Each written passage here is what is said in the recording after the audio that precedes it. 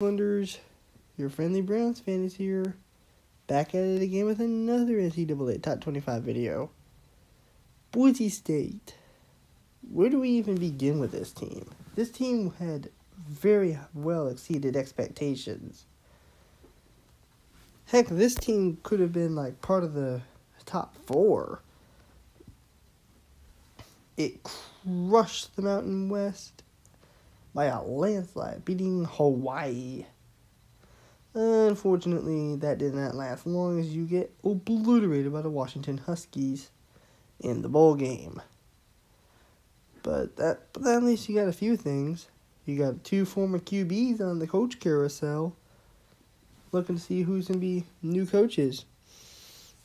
Also, that's not all. You're getting renovations to Albertson Stadium or as I call it, Big Blue, because there's so much blue.